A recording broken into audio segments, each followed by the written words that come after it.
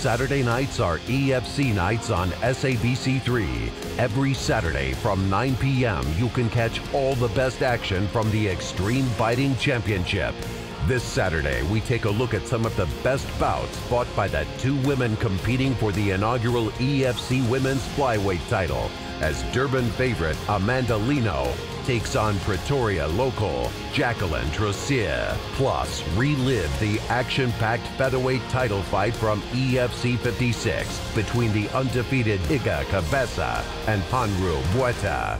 EFC Fight Nights this Saturday at 9 p.m. on SABC3. Brought to you by SABC Sport.